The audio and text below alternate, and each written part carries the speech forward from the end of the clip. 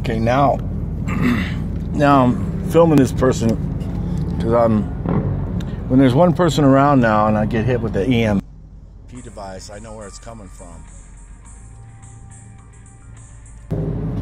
So this person with the license plate 0KV213 in a white Suburban has a little uh, small button that they're pushing that emits the electromagnetic frequency.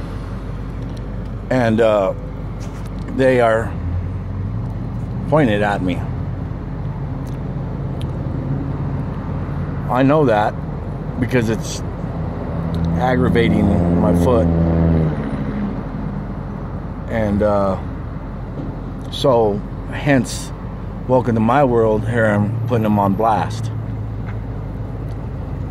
They hand out these little uh, box things like they're candy. And then a bunch of them will get together and they'll all start pushing the button and pointing it at you.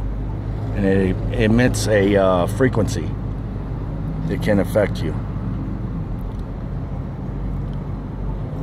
That's why I can't even see their face now because they're hiding it. Welcome to my world here in Denver, Colorado.